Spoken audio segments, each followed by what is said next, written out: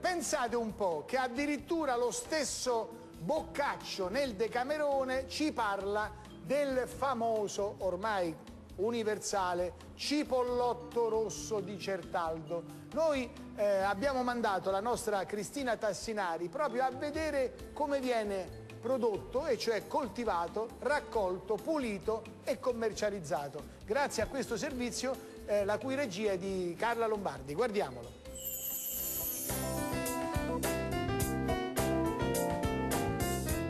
Oggi mi trovo a Certaldo ed insieme andremo a conoscere più da vicino la coltivazione della cipolla. Lo facciamo insieme alla signora Luigina D'Ercole. Buongiorno. Buongiorno. Innanzitutto, qual è il periodo di semina della cipolla? Allora, il periodo di semina della cipolla, eh, come questa che abbiamo oggi, che è una cipolla, che è un cipollotto, una cipolla fresca, eh, sono diversi periodi. Si va dal settembre, poi a cadenza di 2-3 mesi praticamente c'è una semina tutto l'anno con una raccolta quasi annuale. Quindi una volta seminate quanto tempo intercorre dopo che vengono raccolte? Allora noi le seminiamo in deplafon come piantina per piantina e poi dopo circa due mesi queste piantine vengono strapiantate e piantate in campo aperto e dopo circa 3-4 mesi vengono raccolte.